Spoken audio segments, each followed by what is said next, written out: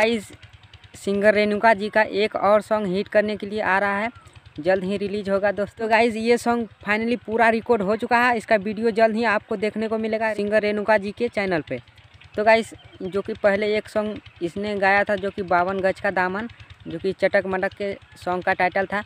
तो दोस्तों, काफ़ी ज़्यादा वायरल हुआ और काफ़ी ज़्यादा हिट हुआ था। तो दोस्तों, इसी के, इसके लिए और एक सॉन्ग लेके आ गया है। तो जल्द ही आप लोग को देखने को मिलेगा। तब तक चैनल को सब्सक्राइब कर लिया घंटी को ऑल पे सेट कर लिया। चलिए तो वीडियो इतना, मिलते हैं नेक्स्ट वीडियो में। तब के लिए बाय